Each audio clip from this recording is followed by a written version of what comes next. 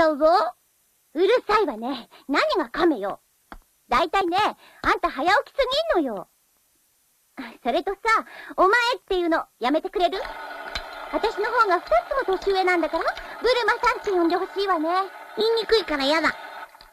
どこが言いにくいのよ。あんたも飲む？コーヒー。ほら、その汁苦いから嫌いだ。体操でもしてこよっと。ん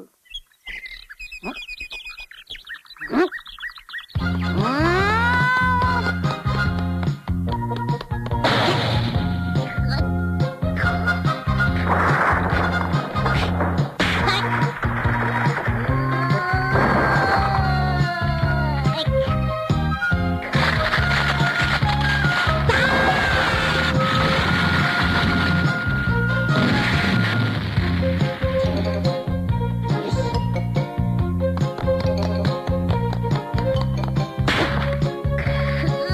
な、な、なんだい、い、い、い？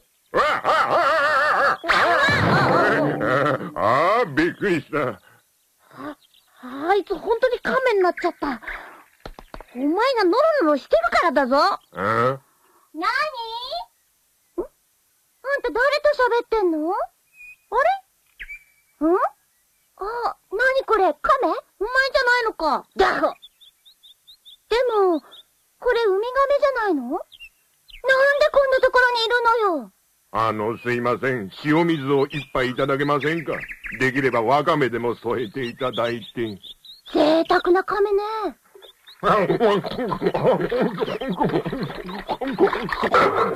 ーあ、ありがとうございます。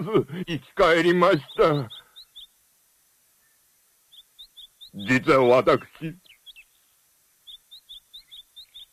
亀なんです。見りゃわかるわよ。ウミガメなのに、マスタケ狩りに来たのが運の月で、みんなとはぐれるわ、道に迷うわ。もうかれこれ、一年海を求めてさまよい歩いております。海ですって？点で方向違いじゃない。それに亀にはかなりの距離よ。海ってなんだ？ほら、南へ約120キロ。いや、120キロ。なあなあ、海ってなんだ？要するにバカでかい水たまりよ。ほーん。オラたちがその海ってところへ連れてってやろうか。え、ほ、本当ですか？何言ってんの？だってお前、お前についていけば海も見れるって言ったじゃないか。そのうちにね、とにかく今はドラゴンボールを探さなきゃならないんだから、そんな暇はないの。のんびりしてたくせに。時間の無駄だわ。ほっときなさいよ。関係ないんだから。じゃあオラだけで行ってくる。勝手になさい。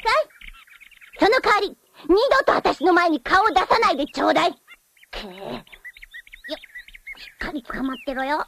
すいませんね。いいだ。アホ皆様帰ってくんな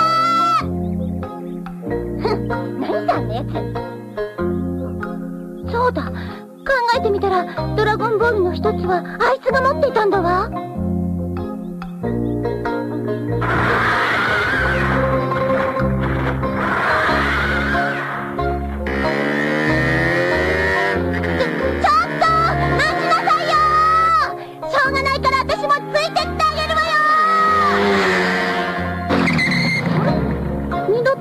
ゃなかったか？あんた本当に可愛くないわね。